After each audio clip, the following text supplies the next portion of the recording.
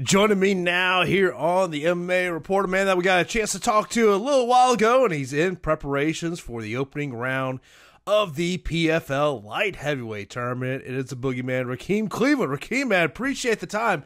You know, as I was, when I knew we, we set this interview up, and I was thinking about your fight here, and what was kind of interesting to me is the preparations for this fight because you're not just preparing for an opening matchup against Vinny Magalhaes, you also have to be preparing for a potential second fight later on that night in the semifinals of this tournament.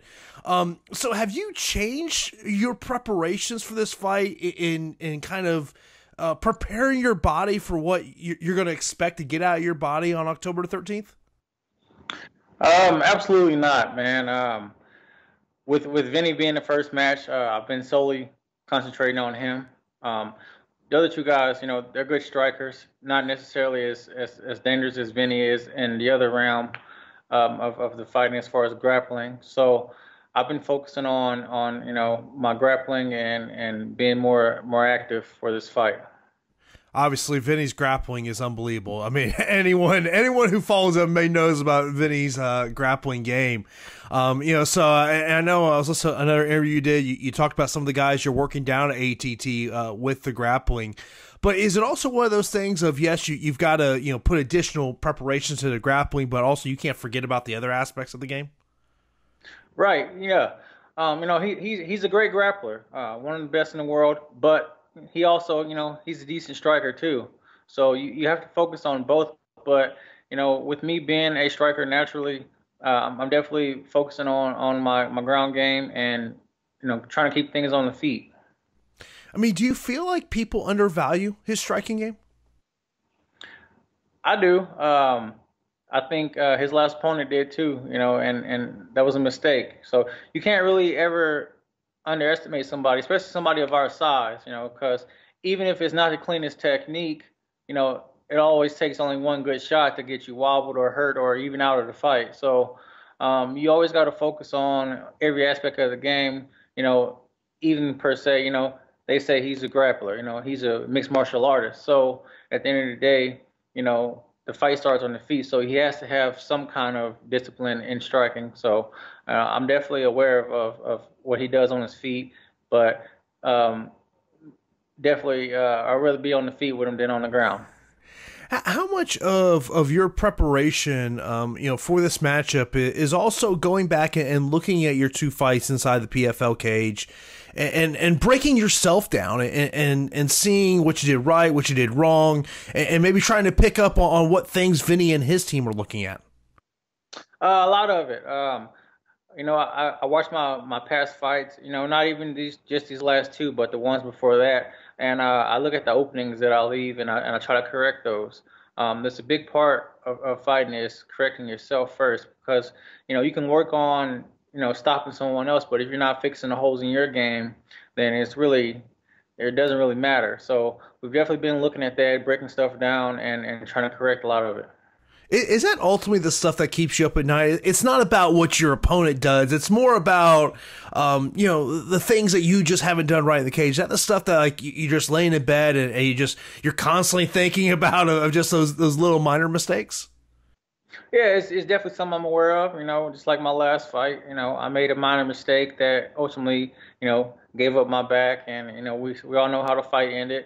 Um, so it's small things like that, small steps. You know, instead of turning right, I should have turned left into him, and you know, stuff like that that you have to focus on. And and it sometimes it's against the natural movement that you're used to doing, so it, it takes a little bit more attention.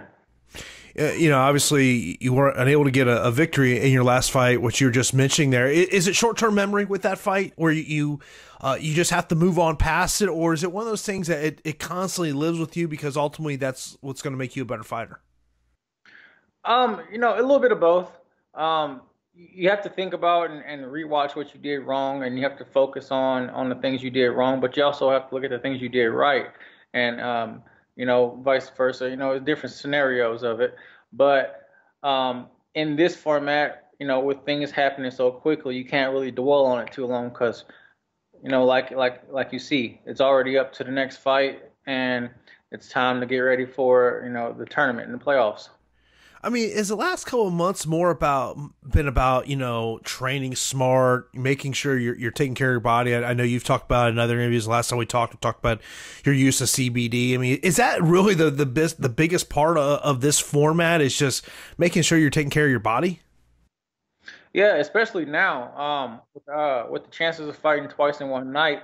Um, if you go into your first fight already feeling banged up or, or with small injuries, and you know, you win your first fight, but you injure yourself more, you're hampering yourself for the next match. So, um, taking care of your body and, and being as healthy as you can is, is a big part of, especially a tournament style fighting. I know you, you trained there with King Mo down down at ATT. Did, did you talk to him about how when he had the one night tournament in Bellator and and what he's done over Japan about kind of uh, the in between fights? I mean, obviously in Bellator, an injury you know took him out of that tournament. But did you talk to him about his mindset of of how he just kind of makes sure your your body you know after that first fight doesn't kind of tense up? Yeah, definitely. Um, we talk about things. Uh, we work on we're working on we're working on some things and. Um, just really, you know, going back in the back and recovering is is, is going to be a big factor. Uh, but also staying loose and not letting yourself tighten up and and letting yourself uh, feel that pain that that sets in after you settle down and all the adrenaline wears off. So. Um, which is always going to be some, especially if you take some shots or you know getting some crazy grappling exchanges. You're going to feel a little bit of muscle fatigue, but um, we're working on getting through those stages and staying fresh for the next one as we're talking, we're we're less than a month out um, from this fight. I mean, what is the next couple weeks like for you? Is it is it are you at that stage where you're kind of you know starting just kind of it's, it's tapering down training a little bit, and it's more just you know working on the finer details? Definitely. Um, I'm still doing a little bit of little bit of little bit of hard stuff, um, but we're definitely focusing on the minor details, um, keeping healthy um, building up the cardio as, as much as I can because that's going to be a key factor, and just uh, sharpening the tools. How would you say you're you're a different fighter heading into this fight as opposed to uh, your last fight?